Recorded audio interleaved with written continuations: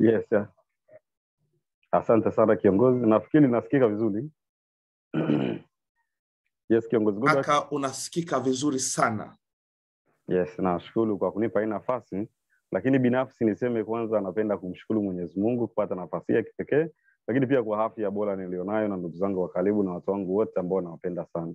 So niseme nawashukuru sana wote ambao tumeweza kuingia kwenye hii call, na ni jambo la kumshukuru Mwenyezi Mungu, lakini pia nipende kushukuru uongozi mzima wa Chivas. Tunavyoongelea Chivas, hilo ni grupu au ni jumuiya ya watu wenye taaluma mbalimbali ambao tumeweza kujikusanya kwa pamoja kwa ajili ya kutimiza lengo fulani. So nipende kuwapongeza na kuwashukuru sana kwa namna ambavyo tunajitoa ili kuhakikisha tunaleta haya mafanikio ambayo kila siku tumekuwa tukiyawaza. Lakini pia nipende kuwapongeza viongozi wote wa timu mbalimbali, maana tunavyoongelea Chivas kama ilivyo taifa kwamba ndani yake kuna mikoa mbalimbali. So katika Chivas kwamba hile ni mwamvuli mkubwa, lakini kuna viongozi au kuna subgroups ambazo zinaongozwa na viongozi mahili machachali Namuona kiongozi wangu Juma pale, nafikiri kiongozi Pasco yupo, kiongozi kiongozi Lightness, kiongozi Sahidi Bazangi na viongozi wote kwa ujumla, niseme heshima kwenu, kwa sababu kwa kazi ambayo mnaifanya huko, nina imani tunaenda kufika kwenye gurudumu ambalo wote tumekuwa tukiwaza, na yamkini hii ndio mahala sahihi pa kuweza kubadilisha maisha yetu na kumake history. So nimepende kuwapongeza, lakini pia nitambue uwepo wa wageni wetu. Nafikiri kuna wageni humu ambao wengine ni mara ya kwanza wanatujoini wengine sio mara ya kwanza, let's say wanajoin mara kwa mara. Ninapenda kuwaambia kwamba mmeingia mahala sahihi na kuwa kwenye hii call actually sio kwamba ume yani kuna mtu ameinfluence wewe kaingia no, hiyo ni God is plan. Kuna mpango wa Mwenyezi Mungu, ndio maana leo tuko pamoja na wewe, na kuna kitu kitaenda kutokea endapo pale utaweza kusikiliza sauti ya ndani yako inakwambia majibu gani. So kikubwa unachoweza kuambia, yawezekana yale uliokuwa umeyawaza kuja kusikiliza usiyasikilize, ila ukasikiliza mengine so yale utakayoyapata yafanyie kazi. Yawezekana hayo hayo ndio unayotakiwa kupata, na ndio maana umeyapata kwa muda sahihi. So nipende kuwakaribisha viongozi wote, niwambie feel comfortable. E, tumetengeneza system kwamba ukichomoka kidogo kwenye koli yetu hautaweza kuingia tena kwa sababu ya ile scramble ya watu kuingia. So be care, kama unaona kuna disturbance, ka sehemu nzuri, na naamini haya yote nitakayoenda kushare na nyie, of course sipo kwa ajili ya kumuinspire mtu, sipo kwa ajili ya kummotivate mtu ila nataka ni share some experience, nionyeshe ni namna gani sisi tunaweza tukafika mbali na namna gani tunaweza tukabadilisha maisha yetu pasipo kuja hata mtu yote yule kufanya miujiza aina yoyote ile, kwa sababu naamini ndani yetu tuna uwezo mkubwa kuweza kufanya vitu vikubwa, na mimi ni shahidi, nimeweza kufanya na nimeona matokeo yake. So nipende kuwakaribisha wote wote wote kwa pamoja, ili tuweze kuona ni kitu gani tutaweza kujifunza, na yamkini mimi ninachokiomba kwa mtu sitamani watu wote mia moja tuwe kwenye hii call tubadilike kwa yale nitakayoyashare. Sidhani kama itawezekana, ila natamani nipate walau watu wanne watano ambao kupitia hao ndo ikawe mbegu, na kupitia watu hao nina hakika wote tutakuweza kutengeneza taasisi kubwa na tutaweza kufanya mambo makubwa sana. So kwa kiongozi Goodluck amenitaka nijaribu kushare, of course nitajaribu, kwa sababu nikisema ni share vitu vingi, nafikiri nafikiri nafikiri nafikiri huu muda wa lisali moja hauwezi kutosha of course nitashare little kulingana na kile ambacho mimi nimekiexperience na kile ambacho tunakiona ground, ni namna gani sisi wote kwa pamoja tunaweza kuyafikia hayo mafanikio ambayo tumekuwa tukiyaota. So nitaanza, maana kuna viongozi watakuwa wamefuadiwa ile link yetu, na ukaona unaambiwa kwamba kuna kiongozi mkubwa ataenda kuongelea utaalamu wa kuweza kujenga timu ndani ya siku mia. So pia hata tunavyoitana, kuna watu wengi bado wanatuuliza kiongozi, mbona wanaitana viongozi? Yawezekana kuna maana nyingine wanamaanisha, hao ni viongozi wa nini? Viongozi viongozi. So naomba before sijaendelea mbele eh, kwa ni wala wala unielezee maana nzima ya hiyo neno kiongozi, kwa sababu kiongozi lile linatumika kama neno, lakini limebeba maana kubwa sana katika jumuiya yetu. Yawezekana unalifahamu neno kiongozi huko nje kwenye vitu vyako au kwenye shughuli zingine, lakini kwa upande wetu sisi tunavyotumia neno kiongozi lina maana kubwa sana. Kwa hiyo naomba yule ambaye ana kalamu na karatasi ajaribu kutake note. Yawezekana naye yaongea usipate nafasi lese ya kuyasikiliza tena, yawezekana ikatokea ili record ikakatika, huwezi jua masuala ya network, kwa hiyo ukawa umekosa kitu cha muhimu sana. Kwa hiyo ningeomba wale wote washike kalamu na karatasi, ambayo yuko na diary karibu, anza kunoti ni kitu gani nitaweza kuelezea, kwa sababu nitaenda kuanza na definition ya neno kiongozi. Neno kama neno. Hilo ni neno, yani unaweza ukalichukulia kama neno, sababu leo hii ukija sehemu mbalimbali unakuta watu wanaitana viongozi, anakuta oh, kiongozi kiongozi, lakini to us kama achievers community neno kiongozi lina maana kubwa sana. Na hilo ni neno ambalo unaanza kupewa pale unapoingia kwenye community yetu. Na kwa nini uanze kuitwa kiongozi? Na kwa nini wewe ni kiongozi? Naomba nielezee. Maake nakumbuka kule shule tukawa tunapewa definition. So naomba nieleze definition alafu nitaanza kuelezea kwa kufuata ile definition ya kwa nini wewe uitwe kiongozi. So ni kwamba tunavyoongelea kiongozi ni mtu ni mtu yoyote yule ambaye ana uwezo wa kuwabadilisha watu kimtazamo na kitabia. Huyo mtu anaitwa kiongozi. So naomba nirudie kwamba tunavyoongelea kiongozi wajibu wake ni kuweza kuwabadilisha watu ama wenzake kimtazamo na kitabia.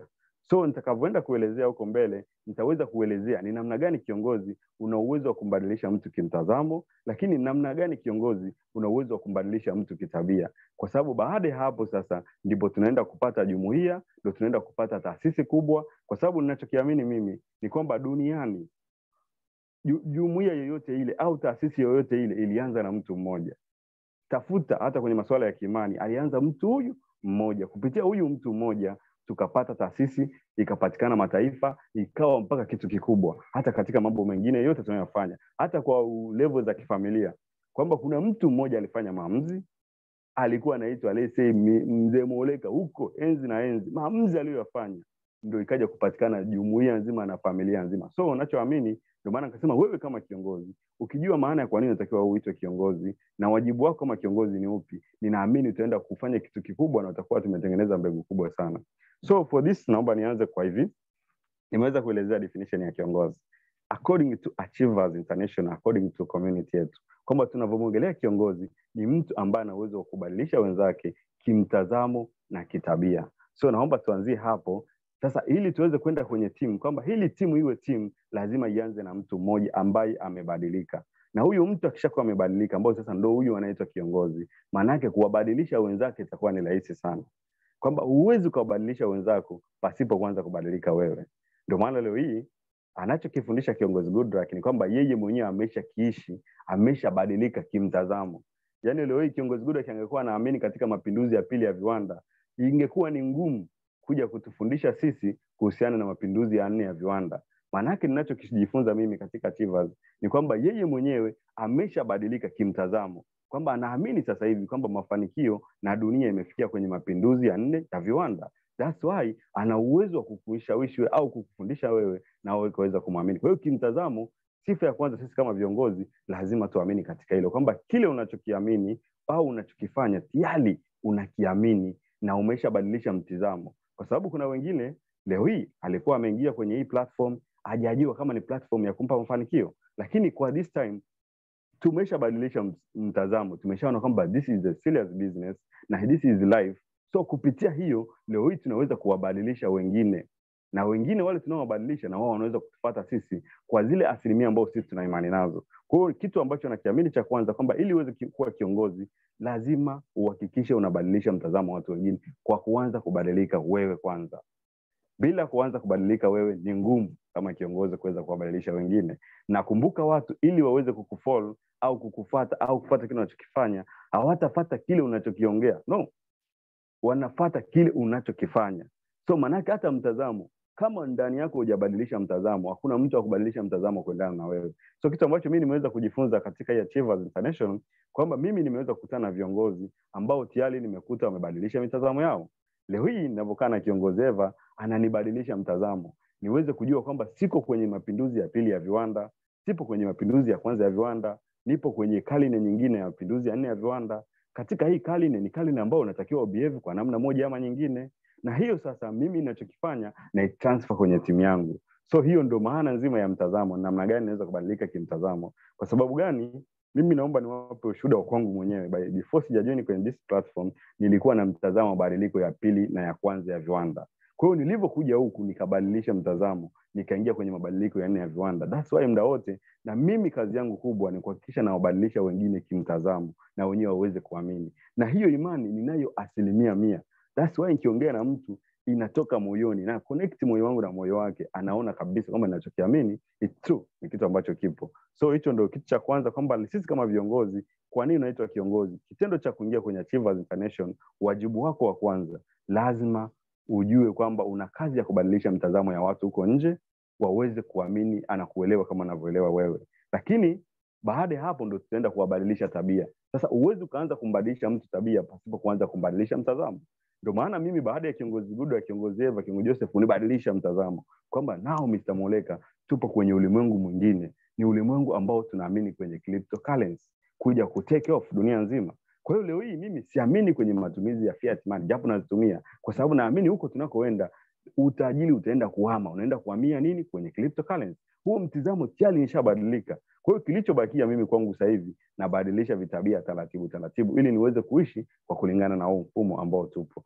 So viongozi nasema kwa hilo ndo kitu kikubwa ambacho mimi nimeweza kukiexperience na kuona namna gani naweza nika nika, nika, nika fit katika mabadiliko ya nne ya viwanda so niliweza kuelezea kwamba kiongozi kama kiongozi kitu cha kwanza lazima abadilishe mtazamo. Kitu cha pili unabadilika kwanza wewe alafu unakuja kuwabadilisha wengine. Mimi nimebadilika that's why niweze nikawabadilisha watu wengine. Ndio maana kiongozi eva ni shahidi hapo alipo alinipa presentation within 30 minutes. Nikabadilisha nikabadilika kimtazamo pale pale kwa kumfata mtazamo wa kwake. Kupitia kubadilika kwangu leo hii kuna umati mnaona tumeweza kujaza hii platform ya watu mia kwa hiyo manake nisingebadilisha mtazamo ningekuwa nipo lakini naamini katika mapinduzi ya pili au mapinduzi ya kwanza ambao nasema sio mabaya kuyaamini japo yapo lakini ni kuamini zaidi katika mapinduzi kulingana na hii feed tuliyopo so hicho ni kitu cha kwanza ambacho mimi kama kiongozi namshukuru mungu kwamba tayari nimesha nimeshabadilika. So tuna baada ya hapo ndo tutaenda kwenye tabia. Sasa hapo kwenye tabia kiongozi Goodluck ndo kuna kazi kubwa sana. Na mimi hapo ndiko na hata mimi mwenyewe ni mhanga wa hapo. Kwa sababu kiongozi kumbadilisha mtu mtizamo ni rahisi sana. Ila kuja kwenda kwenye kubadilisha tabia ile ni gradual process. Ni process ya muda ambao ni muda mrefu. Unajua ninavyosema mtazamo ni issue, ni hali tu ya kawaida ya nature kwamba kutoka kwenye hatua moja kwenda kwenye hatua nyingine ya kuamini. Lakini tunavyoenda kwenye kubadilika tabia kwa sababu baada ya kubadilisha tabia ndipo mambo yote yanatokea. Kwa sababu unaweza ukawa na imani una mitazamo una mtazamo fulani lakini kitabia bado hujauishi kwenye huo mtazamo. So nataka tuende tukaangalie kwa upande wa tabia. Sasa namna gani kama kiongozi unaweza ukabadilisha tabia za kwako kwanza? Ili sasa baada ya kuwa umebadilika kitabia unaenda kuwabadilisha watu wengine. Hicho ndio kitu ambacho sisi tumeweza kujenga timu kubwa kwa sababu ya hicho kitu. Kwamba mimi navyoniona nimebadilika. Tabia nyingi sana nimebadilisha ambazo nimeanza kukopi kulingana na tabia za kile kitu ambacho nakifanya. Kwa mfano takwimu na research mbalimbali zinaonyesha hivi ili uweze kufanikiwa lazima uwe na karakta za uongozi. Yaani hiyo bisha fanya nini? Ili uweze kufanikiwa duniani na uonekane kwamba wewe ni successful. Na unavyomaanisha successful ni kwamba katika engo uliopo tayari wewe umeweza kufanikiwa. Kama ni biashara wewe umeweza kufanikiwa. Lazima uwe una uwezo uwe una, una character au una sifa za kuitwa kiongozi. Hiyo ni sifa ya kwanza. Kwa sababu maana yake nini umeweza kubadilisha mitazamo ya watu wote duniani wakakufata wewe the same umeweza kubadilisha tabia za watu wengine wakaweza kufata wewe kulingana na wewe tabia unazozipenda ndio maana leo hii mimi kama ni, ni, ni mtumiaji mzuri wa facebook najikuta Mark Zuckerberg ambayo ni mwanzilishi wa Facebook amenibadilisha kimtazamo, lakini pia hata zile tabia ambazo yeye anaziishi, na ndio maana yeye ameweza kutengeneza kwenye mfumo wake, na mimi naanza kuziishi. Maanake nini? Yeye ni kiongozi, nimemfuata na nimemfuata vile anavyovitaka. So tunavyokuja hata huku, lazima ubadilike kitabia, na ndio kitu cha msingi sana ambacho mimi ninakiamini. So na nilikuwa najaribu kuelezea kwamba ili uweze kuwa kiongozi la, uweze kuwa mtu ambaye amefanikiwa duniani lazima uwe na sifa za kuwa kiongozi. Hicho ndo kitu cha kwanza. Lazima uwe na sifa za kuitwa kiongozi. Sasa takwimu zinaonyesha hivi ili mtu uweze kufanikiwa pia ni kwamba katika utafiti uliofanywa naomba hiyo kila moja ainoti somewhere katika tafiti nyingi zilizofanywa imeonyesha hivi asilimia ya asilimia kumi na tano asilimia kumi na tano inachangiwa na maarifa utakayokuwa nayo. Kwa mfano tukija katika fildi yetu kwamba ili wewe uweze kufanikiwa na kujenga timu kubwa asilimia kumi na tano tu ni yale maarifa utakayokuwa nayo. Hiyo ni asilimia kumi na tano peke yake. Lakini asilimia themanini na tano zitakazobaki zinachangiwa ni namna gani una mahusiano na watu so kwa hiyo mimi nitakachokifocus hapo ni namna gani nimeona mahusiano na watu yana asilimia kubwa sana ili kupelekea wewe kuweza kufanikiwa. Kwa hiyo leo nataka ile asilimia kumi na tano nitaigusia kidogo kwa sababu nimekuja kufanya utafiti na mimi nikagundua nikarealize mwenyewe kwa kufanya practically kwamba zile asilimia themanini na tano ndizo asilimia za msingi sana ambazo zitanipelekea mimi katika mafanikio. So nikianzia na zile kumi na tano ambazo ni za muhimu na zile sio za kupuuzia kwa sababu zina nguvu yake kwamba lazima upate maarifa lazima uwe na elimu kuhusiana na hicho kitu unachokifanya.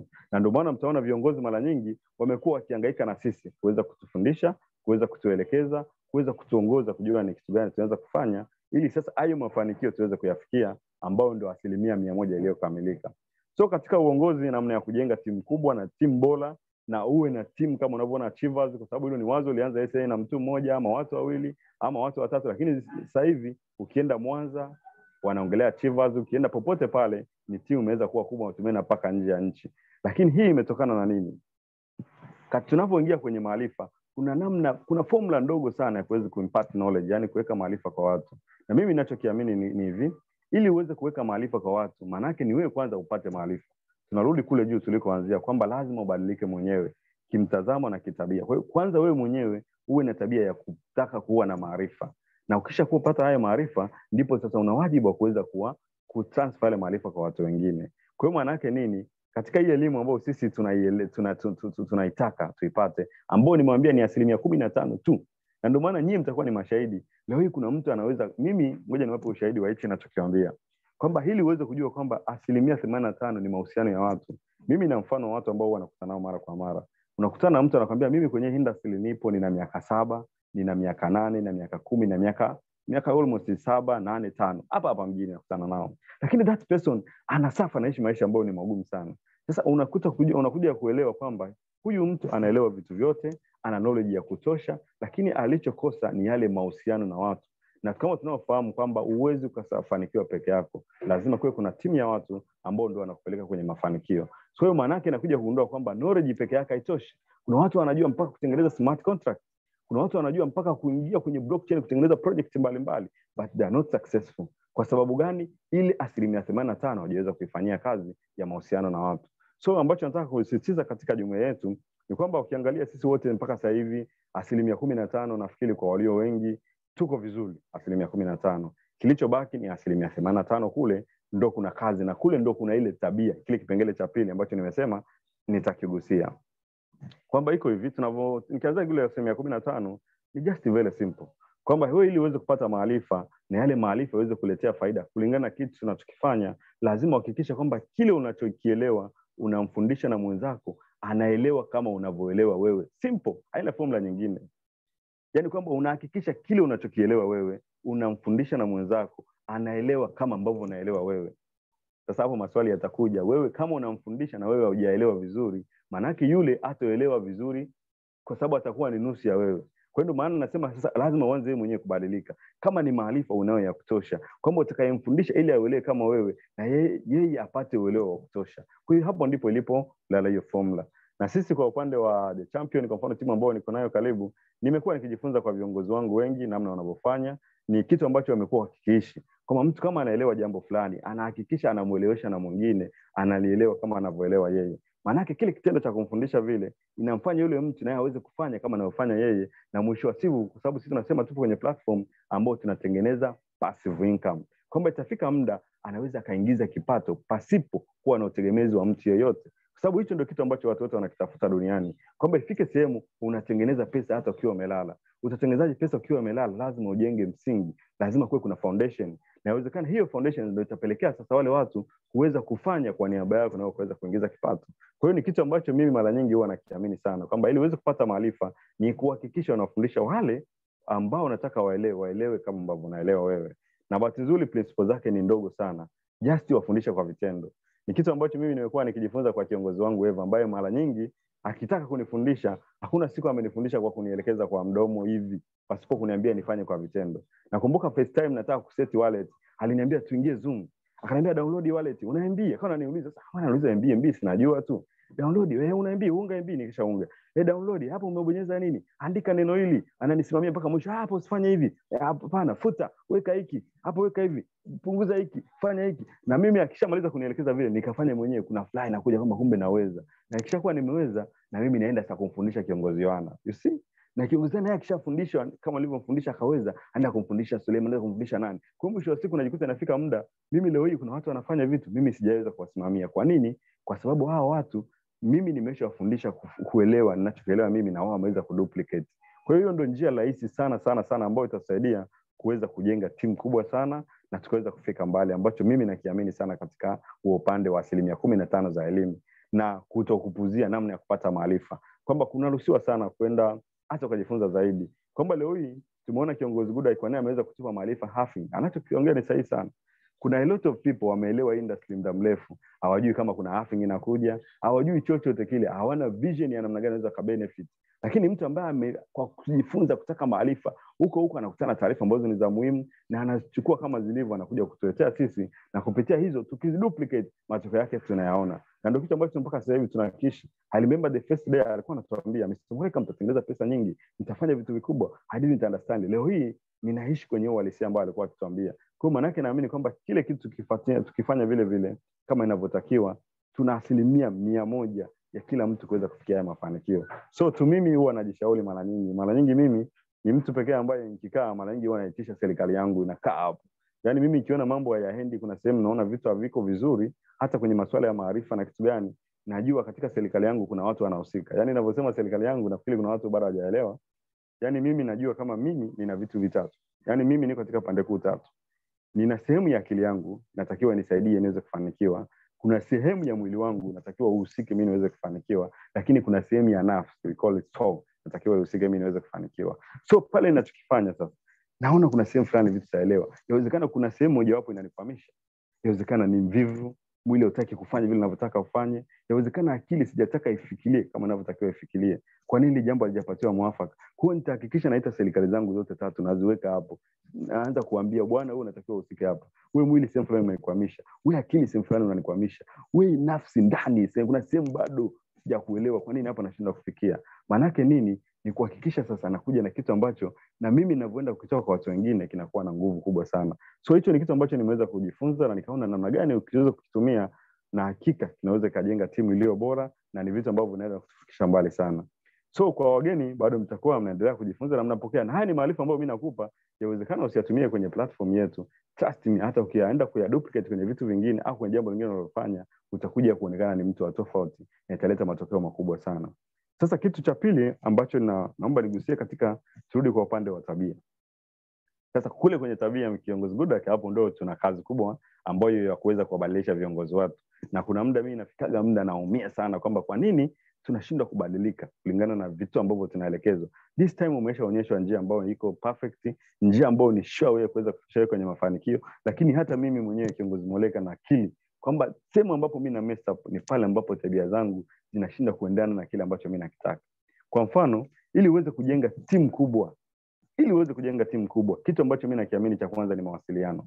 Na hili alipo hata kwenye masuala ya business hata masuala ya ndoa kwamba kama ndoa haina mawasiliano mme umetoka hujamwambia mke wako uko wapi. Do you think ya ukija hapo kutakuwa na amani? Kitu ambacho hakiwezekani. Masuala ya family baba mzima una, wiki nzima hujawasiliana na familia yako do think familia itakuwa inajisikiaje? Au itakuwa wapi?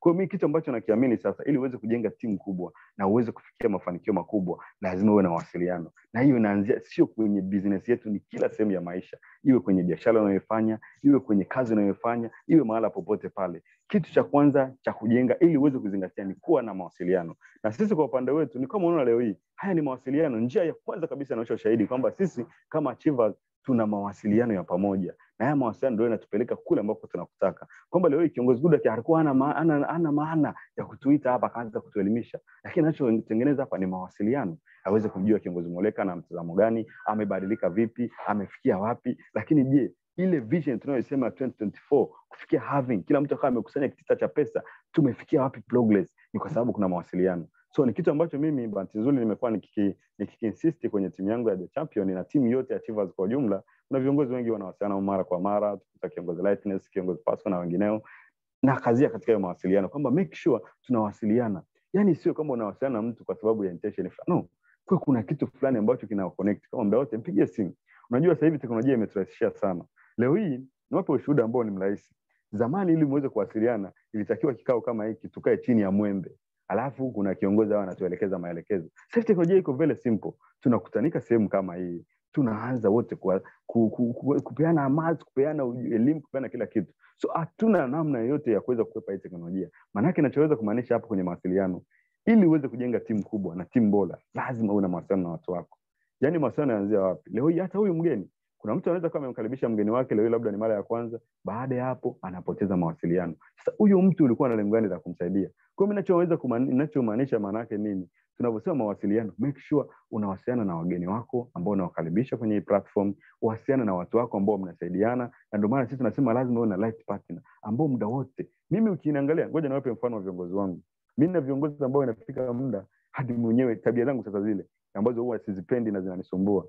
Unakuta kwa mfano leo nimeshuhudia kiongozi kifalo yuko huko kwenye hii call. Amenipigia simu saa kumi na moja kamili niko sijastuka saa kumi na moja nashangaa simu ananipigia. Kiongozi tuliweka plani fulani fulani. Inabidi nizuge. Nimeshaamka kiongozi. Kumbe sijaamka nilikuwa ni ule ile tabia ambayo sipendi inayofanya na muda mwingine nachelewa kuamka. Kwa hiyo maanake nini? Tulivyo plani pale asubuhi imefanyika kazi. Nikafika muda fulani yangu bilionea wanamfahamu. Ananipigia kiongozi nataka nipate BSD kadhaa. Tunafanya fanyaje? Kuna sana saa moja kamili. Lazima nianze ku, kuangaika pale pale. Maanake nisingefanya yale tusingefanya yale mawasiliano kuna mtu fulani tungeenda kumkwamisha. Maanake hicho ndio kitu ambacho nakiamini. Hata serikali ndio maana tunaona kiongozi kama ni kiongozi mkubwa anaita watu wake kama ni kampuni asubuhi lazima kuna staff meeting. Wanakutana kwa ajili ya kupeana maelekezo kupeana miongozo. So sisi ili uweze kujenga timu kubwa trust me lazima una mawasiliano. Kiongozi amesema kwani champion imefika level nane level walituweza kufika level ya tisa kwa muda mfupi? Ni kitu ambacho sisi kama viongozi hatujawahi kubali kuto kuwasiliana yaani sisi tukiamka tu nakuta kiongozi huyu anamcheki kiongozi fulani anampa maelekezo anampa kitu gani cha kufanya na hiyo ndio imeweza kutufikisha mpaka hapa tulipo. Sole sole. Na leo tumeweza kujenga timu kubwa sana. Kwa hiyo kitu ambacho mi nakiamini cha kwanza sisi kama viongozi lazima tuwe na mawasiliano. Na haya mawasiliano sio kwa sisi kwa sisi tu. Hata wana watu wa karibu na hata watu wanaotaka kuja kuhakikisha lazima uwe na desturi ya kuwa na mawasiliano nao. Ni kitu ambacho ni kizuri sana. So baada ya hilo jambo la pili ambalo naliona ni la muhimu sana kuweza kuzingatia ukiachana na mawasiliano ni suala la kuupa value platform yako. Unajua anavyosema kuipa value nafikiri kwa kiswahili vizuri tuseme kukipa kitu thamani. Unajua hapa naomba niongee kwa kituo. Hapa ndio pana point ya msingi. Ili uweze kujenga timu kubwa na watu waamini kile unachokifanya na wakufollow lazima kile kitu unachokifanya huo umekipa thamani unajua mimi huwa naumia sana ninapokuta mtu anafanya shughuli yoyote ile. Sio hata business yetu hata shughuli nyingine. Alafu hajaipa thamani. Yaani ni kitu ambacho huwa kinaniuma asilimia nyingi. Mimi huwa naangalia watu wanaofanya vitu vingi sana. Unamkuta conductor just tumie mfano wa mtu wa kawaida tu. Conductor the way anavyopenda kazi yake anavyovalue anamwambia sogea sogea na nini anachukua mzigo wa mama anaweka kwenye gari. Unaona kabisa huyu mtu anavalue kitu anachokifanya. Maanake mimi huwa natamani hata kila mtu kwenye feed aliyopo kile kitu anachokifanya akipe value akipende kutoka moyoni angalia hata wasanii. Leo tukija tukaona wasanii wanatengeneza pesa wanatengeneza mafanikio makubwa ama wachezaji wa mpira tunaona hawa jamaa bwana wamebarikiwa tu. Lakini kitu ambacho cha kwanza wanacho wanakipa value kitu chao wanachokifanya. Maanake wanakuwa na ile discipline ya ndani kwamba mimi nakifanya kitu fulani lakini nimekivalue. Unajua eti mi niwape mfano mwepesi. Kwamba leo hii sisi tupo kwenye industry. Inawezekana wageni hawajui. Naongea na viongozi ambao tuko wote kwenye industry ili nikupe yani nikupe secret ya kuweza kujenga timu kubwa. Leo tupo kwenye industry ambayo inamtoa watu wametengeneza mabilioni of money kwa muda mfupi sana. Kitu ambacho inawezekana ukawa uamini lakini sisi tunaamini ambao tumeshaona ushahidi huo. Leo hii nenda kaangalia kwenye zile account zinazo display za Binance. Within 6 months mtu ametengeneza dola laki tatu. Sasa niambie kwenye local business nenda kwenye ajira ambapo unalipwa monthly ni nani ameweza kutengeneza hizo pesa? Na tunakwambia upumo unaweke kwa namna hiyo. Sasa inafika sehemu kwa nini mtu hichi kitu usikipe value hiyo ndio kitu ambacho mimi mara nyingi naamini uweze kujenga timu kubwa na wale watu waweze kuamini wewe kwa sababu tumesema unaanza ku- ku- kubadilika wewe lazima kwanza wewe mwenyewe uonyeshe kitu value mimi huwa najifunza kwa viongozi wangu wa Chivas. Kuna viongozi baadhi hata nyinyi pia mtakuwa mnajifunza. Mimi huwa na yani huwa najifunza vitu vingi sana kutoka kwa kiongozi Joseph. Kama umeshahudhuria ile training ya saa saba ya blockchain, ni kiongozi ambaye toka ameweza, am, toka alipotangaza kama mimi nitakuwa nafundisha kila saa saba mchana, hajawahi misi siku hata moja. Na kuna siku moja nilishuhudia akiwa na mafua makali, lakini wakati huo anaendesha training na mpaka akawa ameweka mic na camera off, lakini anaendelea kutufundisha. Nikawaza huyu ni namna gani anafanya hichi kitu? Ni kwa sababu amevalue kwamba hii this is my business, this is my life. Hii ndio njia ambayo itanipelekea kwenye success. Kwa mimi hata viongozi nachoweza kuambia, ili uweze kujenga biashara kubwa, na hakikisha una value kitu unachokifanya, hakikisha pia una value timu yako. Mimi mara nyingi huwa na value timu yangu, na ndio maana huwa niko mkali sana juu ya timu yangu. Yaani mimi frank speaking, naomba kama kuna mgeni yuko hapa ama kuna kiongozi yote ambaye anifahamu, mimi kwa timu yangu huwa ni mkali sana. Last time kuna watu walikuja kunichezea, yani nisema this hawatotaka kucheza na mind- mindset yangu. Can you imagine mtu anamchukua kiongozi wangu anamfundisha kutengeneza hela kwa mfumo wa scam? Was, yani nilikuwa niliumia. Bali kiongozi alivyokuja kunihadithia kwamba nimeitwa na mtu fulani anajifanya sijui iko nilimfuata yule mtu nikampigia na simu. Bro naamini unachokifanya wewe umekiamini lakini siko tayari umfundishe kiongozi wangu. Kwa nini? Na value timu yangu.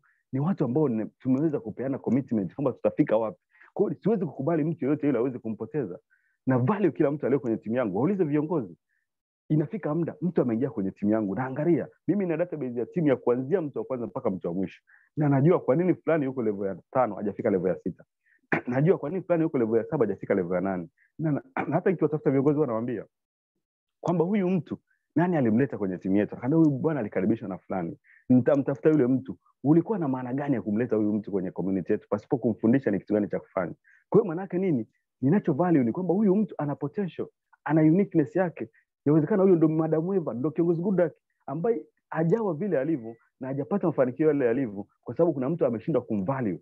Kwa sababu leo hii kuna viongozi wanatuvalue sisi ndio maana tunaweza kujenga timu kubwa mimi nakumbuka kuna viongozi wako humu wakubwa ambao baada ya kuingia kwenye system wamekuwa valued na leo wameweza kujenga biashara kubwa. Kwa hata sisi wale viongozi umeanza nao yamkini huyo mtu inawezekana wewe ukawa unajua na madhaifa haya na haya mpe value mthamini ni kiongozi ambaye unaweza ukafika mbali. Kwa hiyo mimi hicho ni kitu ambacho natamani sana kila mmoja amweze aweze kuwa nacho na aweze kukimaintain ili tuweze kufika mbali sana. Lakini ukiachana ku kuvalue team kuvalue business ambayo tunaifanya kuna kitu ambacho kingine huwa napenda sana sana sana sana sana. Kila mmoja ni kitu ambacho naamini kwa walio wengi wao ni kama kina umuhimu. Lakini kwangu mimi huwa kina umuhimu mkubwa sana sana sana. Ambacho kinaenda sambamba na hilo. Kwamba mi naamini katika jambo lolote lile ili uweze kufanikiwa lazima uwe focused na jambo hilo. Japo kuna wengine wataambia hapana naweza nikafanya hili na hili na nikabalance. Mbona kuna watu wanamiliki makampuni mengi at once yote yana grow. Lakini ukiwafuatilia wale watu principle yao ni kwamba walianza wakafanya kitu kimoja kikaprosper yani kikawa leta mafanikio ndipo akaja kuanzisha vitu vingine. Haiwezekani wewe leo hii una platform zaidi ya tano at once alafu naamini kwamba yote unaweza kufanikiwa. Kitu ambacho hakiwezekani. Hata mchezaji wa mpira aweza akasema anacheza kwenye timu tano kwa wakati mmoja huyu mtu hiyo timu akailetea ushindi. Kitu ambacho hakipo. Kwa hiyo maanake unachoweza kumaanisha nini? Ili uweze kujenga na timu uweze kujenga timu kubwa kitu cha kwanza kuwa focused na timu yako pamoja na kitu ambacho mnakifanya wewe na timu sababu unavyoongelea kuwa focus na team ni kitu ambacho ni kipana sana. Kwamba leo hii sisi walio wengi tumepita katika changamoto za kimaisha za utafutaji ambao wengi tumekuwa kwita na mi ni mmojawapo kwa sababu mpaka nakuja huku nilikwiti sehemu. Sasa ile tabia ndo tunaongelea kwenye tabia pale ile tabia imeni, yani imeingia ndani yangu ambayo naamini ninaendelea kuibadilisha. Na, na sasa hivi nimeshaishinda. Kwa sababu kama sasa hivi nimeshaamini kwamba ninachokifanya ni hiki.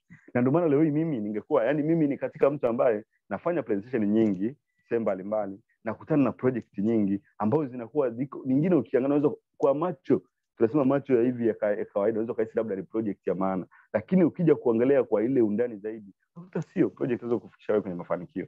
Kwa mimi ninachokiamini mimi na focus kwenye kwenye kitu changu.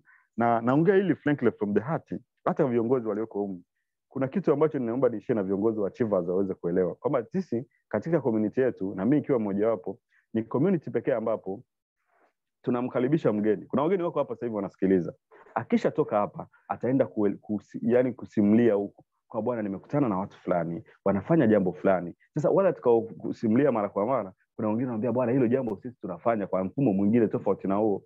You see? Na wale watu wataanza kumfundisha kwa mfumo wa kwao ambao tofauti na sisi tulioelewa. Na inawezekana wengine wakakuchallenge kwamba mfumo huko sio njio mfumo wa kwetu.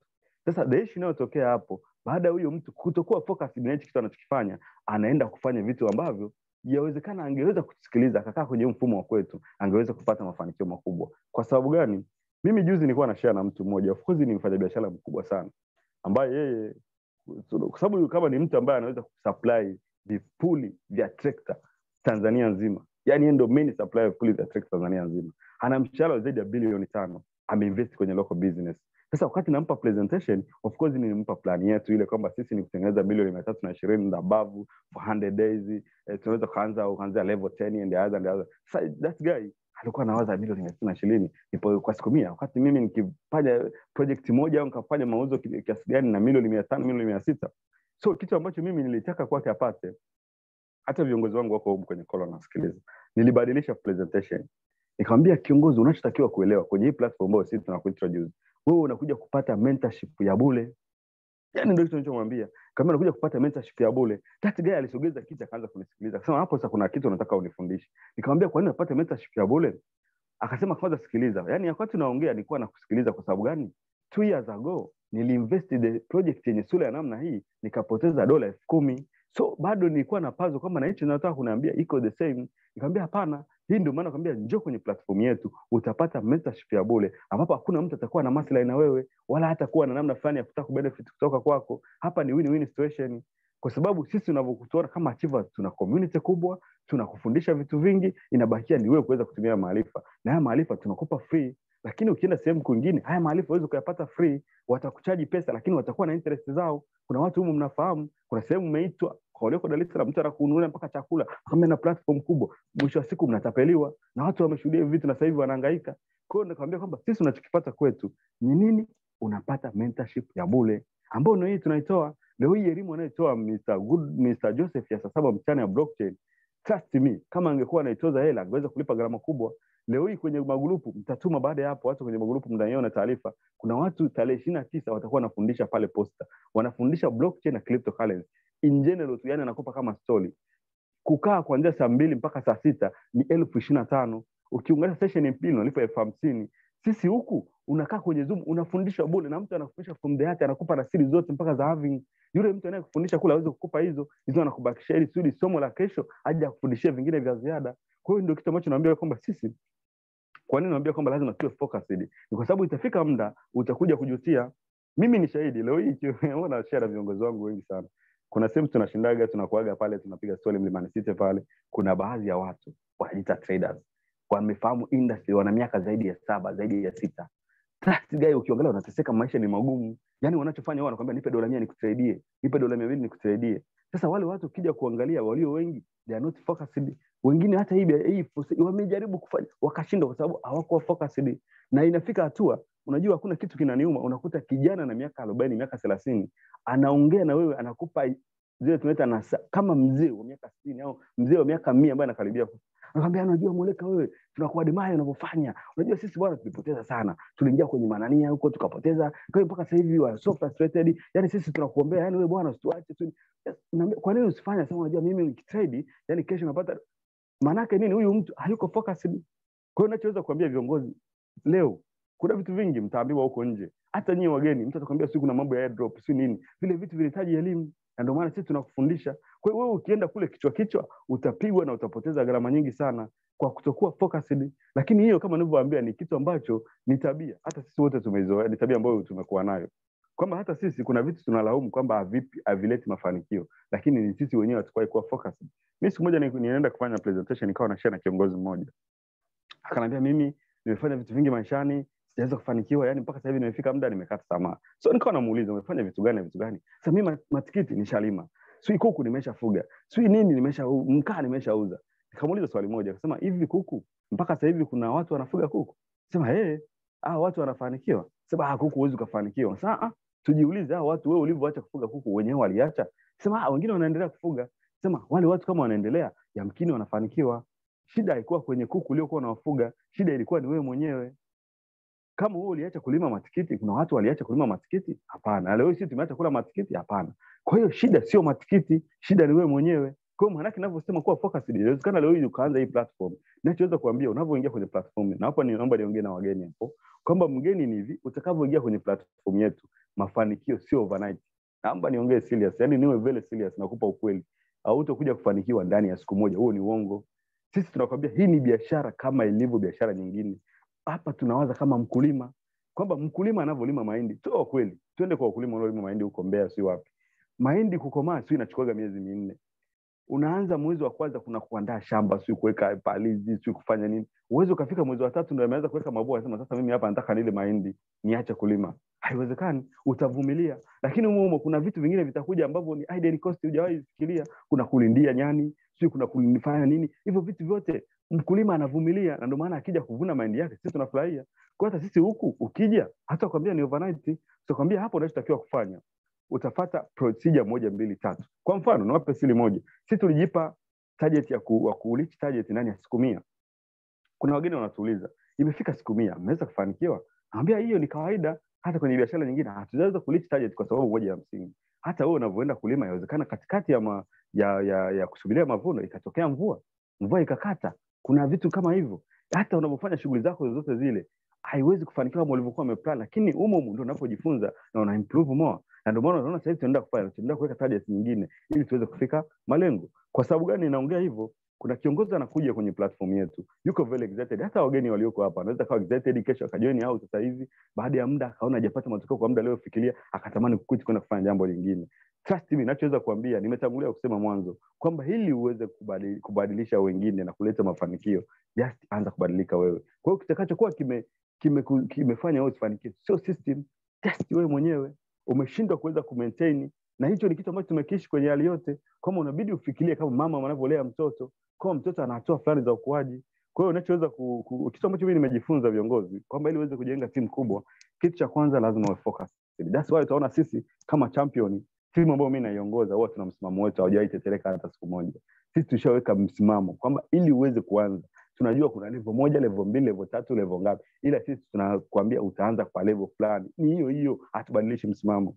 Tunakwambia ukipata mavuno ma, malipo yako una upgrade kwenda levo nyingine. Hatubadilishi msimamo. Lazima uupgrade. Usipo upgrade ni wewe itakula kwako malipo yatakuluka tunakwambia ili uweze kufanikiwa lazima uwe na watu ushirikishe watu. Mtu mwingine anakwambia mimi nataka nijue nime busy lakini si mta unajua kuna kitu ambacho hivyo hivyo ndio vitu ambavyo vinatoa kwenye focus kwamba you start the business unafikiria kuna mtu wa kufanyia biashara. Kitu ambacho hakipo mimi naambia naambiaga viongozi frank speaking kwamba hii ni biashara yako umeanza mwenyewe. Mimi ni kama nimekuonyesha platform.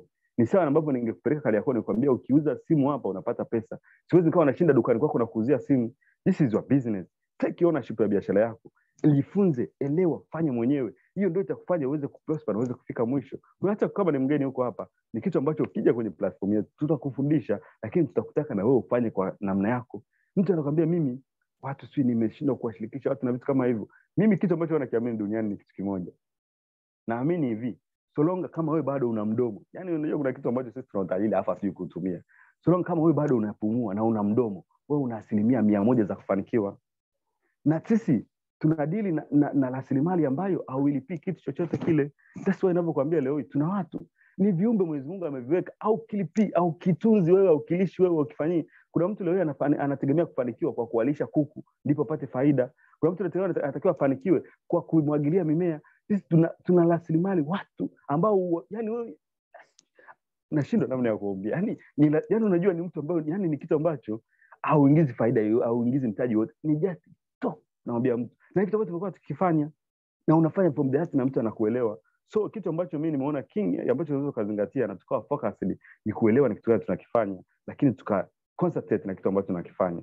So kitu kingine nikiachana na hiyo kuwa focused kuna vitu vingi. Hii yote ni principles za kuweza kujenga timu huwezi ukajenga timu ujawa focused even hata timu yako Mimi ndio maana naambia na database watu wangu wote. Leo inaweza naweza ukanishika nikaanza kutajia mtu wangu wa kwanza mpaka wa mwisho wote nao kwenye timu na nikajua progress zao na wengine najua mpaka wanaishi wapi. Lazima nijue anakaa wapi anaishije na maendeleo gani na nini. Ili huyo mtu ameshindwa kufanya sehemu fulani najua namna gani naenda kwenda kumsaidia.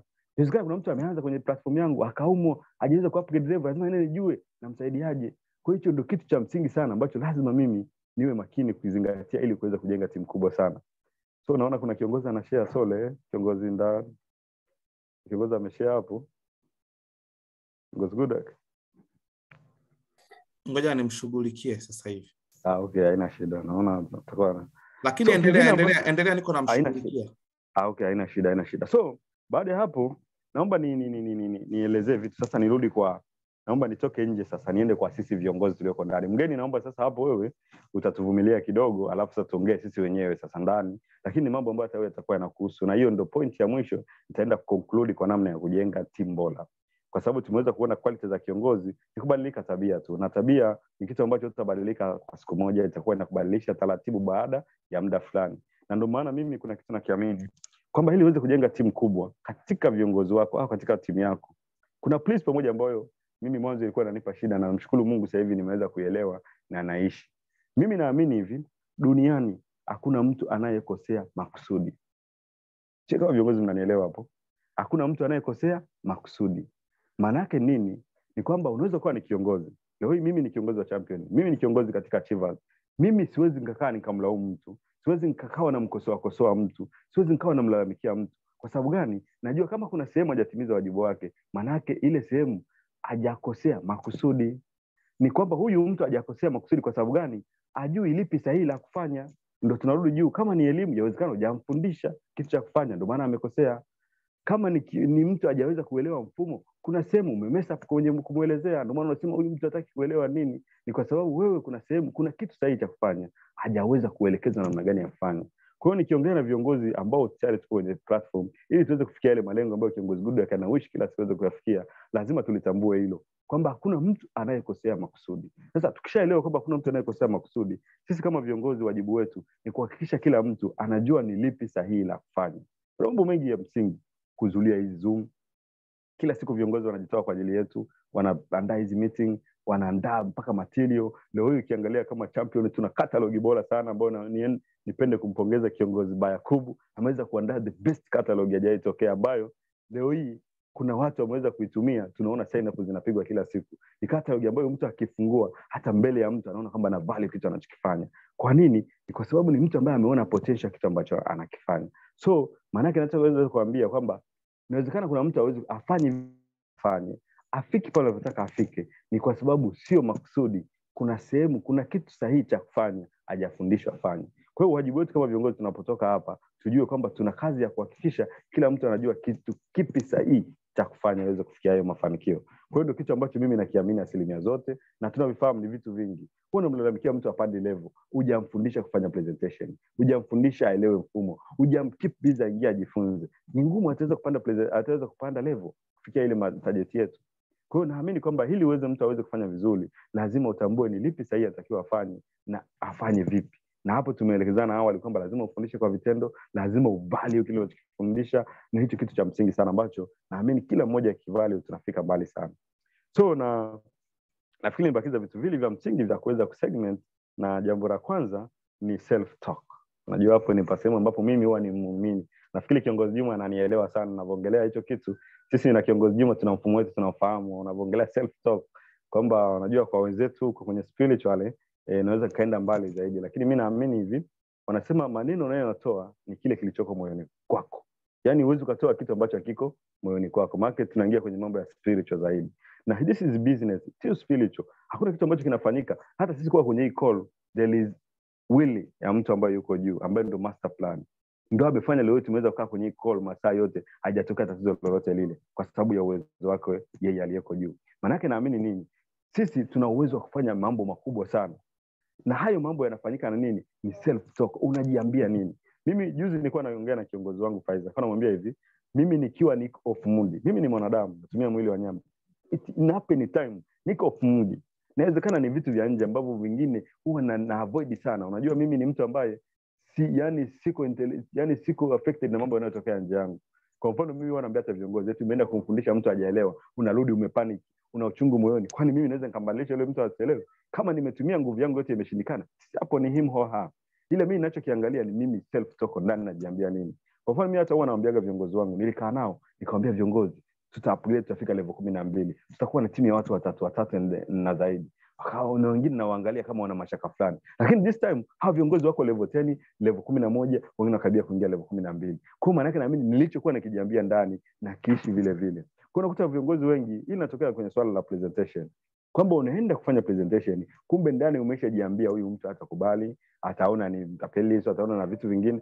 Vile ukishakuwa umejiambia trust me ile ni spirit itaenda kutransfer kwa yule mtu ndio maana mimi kuna muda huo mi naweza nikaingia kwenye kwenye zoom ya Mr. Goodluck. Ile kuingia tu kuna energy inaanza kuwa transfer kwangu. Najifili niko motivated najifili niko energized. Kwa hiyo maanake hata wewe unavyoenda kuongea na mtu jitamkie kwanza maneno yenye ushindi. Jitamkie ukiwa na mafanikio. Yani ndio atakupeleka hata yule mtu ataweza kufeel the feeling ambayo unaweza kuitoa wewe. Kwa ni kitu ambacho nimekiona viongozi wengi wanashindwa close sign up mtu anafika anaongea hazifi kile anachokiongea ana imani nacho yani ameshabadilika kimtazamo kwamba yuko kwenye mapinduzi yani ya viwanda anachokifanya is perfect. Lakini still bado moyoni anavyoongea unamwona anaongea bado ana hofu ana mashaka still bado anafanya kitu ambacho anakiamini. Kwa hiyo hiyo yote inatokana na nini? Moyoni unajiambia nini?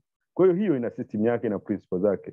Kaa muda ukiwa peke yako tafakari. Mimi nawaambia viongozi naweza nikakaa na kiongozi. Viongozi wangu wanaofahamu mara nyingi wanaita na kasi unaambia hebu can you imagine sasa hivi umeshamaliza level kumi na mbili?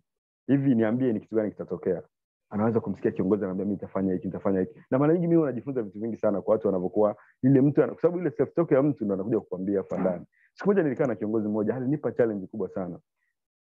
Tulikuwa tuna tuna, tuna vision tunayo mpaka sasa hivi kwamba after level kumi na mbili tunaenda dubai wote. So yule kiongozi yeye ana vision tofauti na sisi tulikuwa tunawaza. Yeye vision yake ni kwamba mimi nilimuuliza kwamba una, unafikiria nini? Yani kitu gani unakitamani? Sasa mimi bwana kiongozi kitu ambacho nakitamani. Yani mpaka kila siku anamwambia mwenyezi mungu kwamba nifike level kumi na mbili nimalize na watu wangu wote wafike level kumi na mbili. Nikishatengeneza lile pesa mi sitaka kwenda dubai kutembea tu. Mi nataka nikifika dubai ninunue nyumba. Aise mi niliumia. Kumbe huyu kiongozi yeye mwenyewe anajiambia. Sisi kuna wengine hapo ukimuuliza ukifika level kumi na mbili tukaenda dubai unaenda kufanya nini? So nitaenda kumwona kiongozi eva kiongozi goodluck.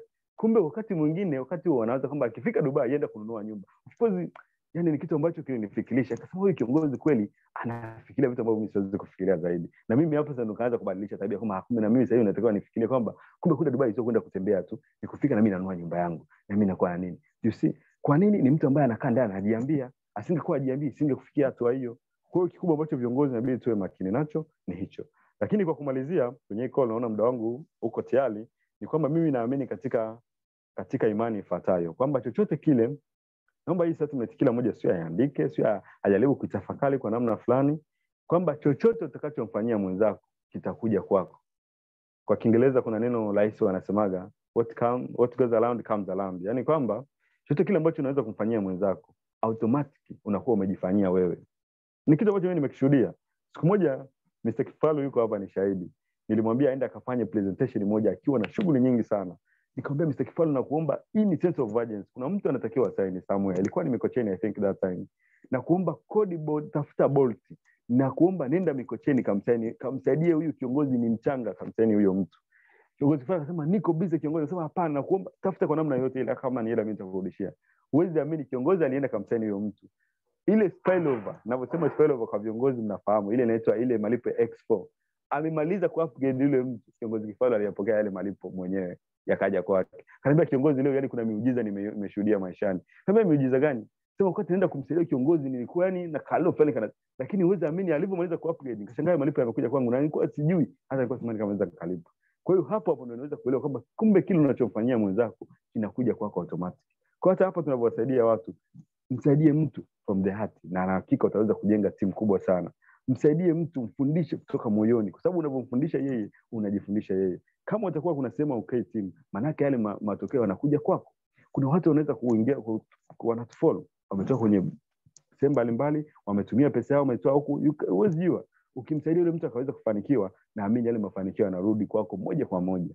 Kwa hiyo kiongozi Goodluck mimi nakuaga na mambo mengi sana ya kushare lakini kwa viongozi naomba niishie hapo leo. Na nishaweza kuambia sisi the champion kiongozi e, timu ambayo mimi naelea tuna vision kubwa sana. Kwa sababu mimi naamini kwamba ili taasisi iwepo inaanza na mtu mmoja.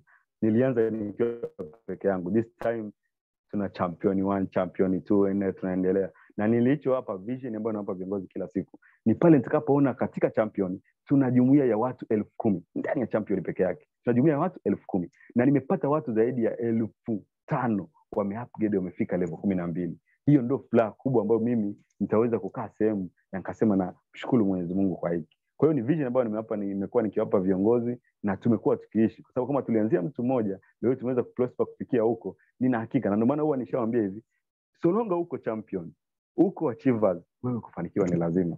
So kiongozi Goodluck naomba niishie hapo. Nashukuru sana kwa usikivu wenu. Nashukuru sana kwa nafasi hii. Namshukuru mwenyezi mungu aweze kunipa haya maarifa na hili linachoweza kuwasiliana na wewe. Yawezekana ukahisi alikuwa ni mafundisho kumbe ilikuwa ni taarifa. Lese inatoka mbinguni imekuja kwako. Naamini katika hii call nitapata watu wawili ambao watakuwa na attitude na mindset kama ya Moleka. Asante sana. Ah, kiongozi Moleka, kwa kweli nadhani watu hawajajutia kuwepo katika uh, mafundisho ya siku ya leo. Kwa wale ambao basi walichelewa kuanza, hii ni, eh, ni Moleka's classic insights on team building and development. Hizo ni insights eh? Yani, yani, an, an, yani vitu ambavyo Moleka classic anavyovitoa kuhusiana katika masuala ya, ku, ya kujenga timu na kuiendeleza timu.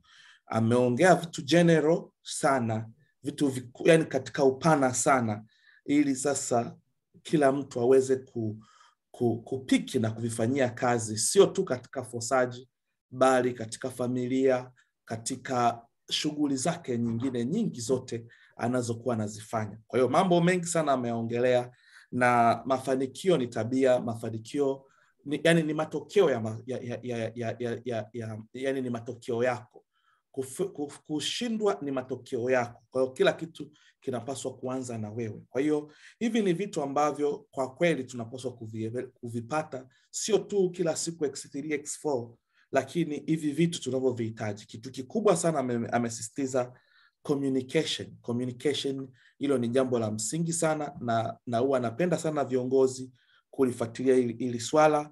Ameongelea mambo mengi kuhusiana na right partners, kutoa value, kuipa thamani ile platform tulionayo, lakini kikubwa ameongelea kulinda timu yako, kulinda timu yako. Hiki kitu wewe kama yani, wewe kuwa kama baba baba anayelinda watoto wake, huwezi ukakubali uh, wavamizi waje wa, waje wavamie familia yako na kuisambaratisha. Utapigana mpaka dakika ya mwisho. Kwa hiyo unapaswa kuilinda timu yako na unapaswa kuwa kama mama. Mama huwa anapenda, mama analea, mama yani uwe vitu vyote viwili, uwe kama baba, uwe kama mama ndani. Timu yako unaweza ukaifikisha mbali. Nadhani wote mmesikia alichoongea, sihitaji uh, uh, kuyarudia, lakini tunamshukuru. Ni kiongozi ambaye kwa kweli ni jasiri, moja ya viongozi wakubwa sana ambao tunategemea kujenga uh, kujenga kitu kikubwa kwa pamoja katika hii community. Tuna mambo mengi sana yako mbele. Unaweza ukaenda ukapitia message ambazo watu wameandika hapo chini na unaweza unaweza kuona. Kikubwa ni focus, lakini mimi kwa kuweza kumalizia alichoongelea Moleka ni kwamba mimi naongea kitu kile kile. Jamani, mwaka elfu mbili na ishirini na tatu mwaka elfu mbili na ishirini na tatu yani mwaka kesho, huu mwezi unakata, yani huu mwezi unakata. Jiulize kwamba huu mwezi wa kwanza umepata nini? Kama hujapata kitu, basi pambana mwezi wa pili upate. Ukipata cha mwezi wa pili, unganisha na utakachopata mwezi wa tatu. Mwezi wa pili usipopata, basi jua kabisa kwamba wewe utajiri wako unaupunguza. Kama ukuwa na ndoto ya Land Cruiser, basi Land Cruiser yako unaipunguza inashuka inakuwa inakuwa RAV4 ikifika mwezi wa pili. Angalia yani time, yani, tusi, yani tusibweteke tukaona kwamba tuna muda. Sisi, mimi binafsi, mimi hapa ninasema mbele ya watu wote, huu mwaka huu ndo na, yani najitoa kila kitu kwa ajili ya kuweza kusaidia watu kubuild kubuild wallet zao, kubuild timu, kusaidia mwaka utakaokuja nitakuwa busy na kusaidia watu kununua cryptocurrency, kufanya research za cryptocurrency, kuipeleka timu yetu katika levo mpya, levo ya manunuzi. Sasa hivi tuko tunatafuta hela, tunaingia kwenye shopping. Ikifika baada ya afing, tunafanya sherehe, tunatulia ili tusiguse waleti zetu. Mimi nitatulia ili nisihangaike kupatapata gharama gharama nyingine za kuzunguka zunguka huko mikoani kutumia cryptocurrency zangu ambazo nimezitunza. Mzigo ukishapata nikawa tajiri, nitakuwa sina tena muda wa kufundisha X3 na X4.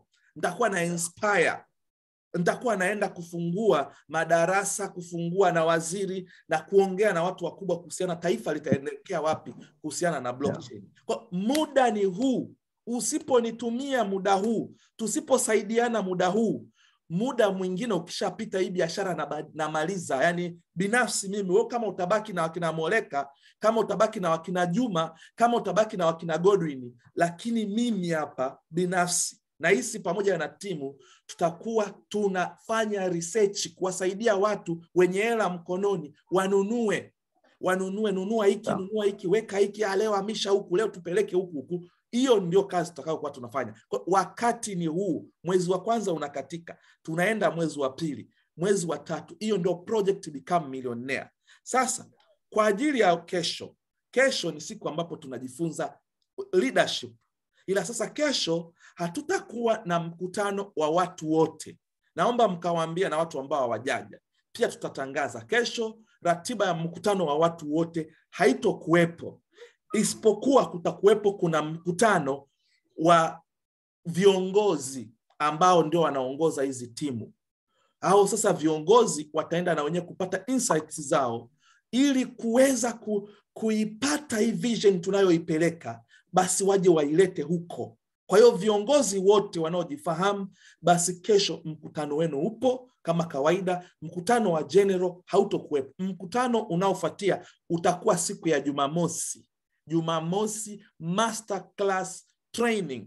Super saturday live master class training. Jumamosi yanapigwa madini makubwa sana. Madini ya hela. Yanaongelewa hela. Wanaongea watu mbalimbali wakiwa wanaongea. Kwa hiyo maana yake kesho tutunze bando letu tutunze ile kiu tukutane jumamosi tukiwa katika uh, wengi tukiweza kufanya kitu kikubwa lakini kwa ajili ya wiki ijayo Mr. Yona atarudi tena katika uh, uh, Made Simple, lakini wataongezeka viongozi watatu wa kiongozi Darius na kiongozi Saidi wakiwa wataonyesha experience yao katika kubuild team, watashirikiana kwa pamoja Mr. Darius, lakini Ijumaa tutakuwa mimi na kiongozi Juma na, na Joseph au kiongozi Humphrey tukiingia katika masuala ya leadership. Kwa hiyo kiongozi Juma utarudi kabisa sasa hivi, this time sio katika blockchain na na Forsage, bali utakuja katika swala la leadership siku ya Ijumaa. Siku ya Jumanne tena tutaendelea na mama Mapesa akiongelea namna ya kufanya,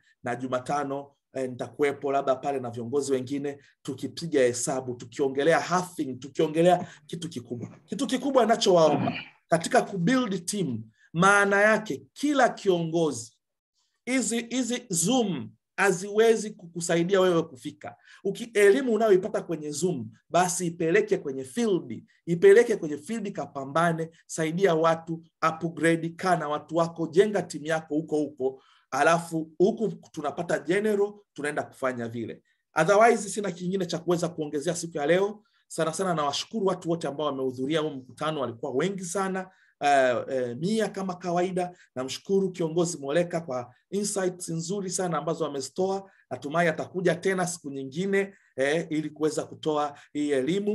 Uh, kwa wale watu wote tunaoelewa tunafahamu kwamba tunashirikiana kwa hiyo ukimtaji kiongozi moleka basi yupo atakusaidia. Ukitaka kiongozi juma yupo atakusaidia. Ukitaka kiongozi godwin na viongozi wengine wowote lakini wiki ijayo wiki hii tulikuwa pia na mtaalam kutoka katika masuala ya insurance yani professional kabisa. Wiki ijayo tutakuwa na professional banker mtu ambaye anafahamiana naye ambaye ana experience kubwa zaidi ya miaka uh, kumi na tano katika masuala ya benki atakuja kutuonyesha tofauti yani atuambie benki afu sisi tutatofautisha na fosaji kwa atatupa hayo maswala ata, ataendelea alafu tutaweza kufanya. Kwa hiyo tuko tunafanya sasa hivi kiprofessional zaidi kwa sababu vision yetu ni kubwa. Mungu awabariki sana ndugu zangu tuonane siku ya jumamosi katika masterclass uh, uh, super saturday masterclass training. Ila leo nilimwona uh, uh, kiongozi pasco akiwa na kundi kubwa la watu walikuwa katika sehemu klasiki na wapongeza sana. Ila namwona kiongozi aristides kamugisha akiwa na raha sana akiwa nyumbani akifuatilia ma, ma, ma, mafundisho live. Kuna pale kuna chacha william mwenyewe na video yake ilikuwa oni bila kumsahau rafiki yangu Viki eh, popote alipo huwa yani yeye siku zote huwa anasikiza na concentrate kwa hiyo big up Jafet mwenyewe na yeye na video yake na Shedla Lazaro na yeye naye pia yuko ndani ya nyumba Beni an, uh, yule yule ni kulikuwa dada huyo anaitwa ni, ni, ni Infinity na, na, na, nasa huyo alikuwa anatuma vitu fulani hivi klasiki kwanza kwa lugha ya kiingereza lakini mwenyewe anaonekana yuko sehemu fulani klasiki unaweza ukamwona anafuatilia anaona na mimi niendelee kuwa pamoja nasi katika nani pale kuna beni yuko ndani ya gari sijui ndani yuko na kundi kubwa. Ah, why say?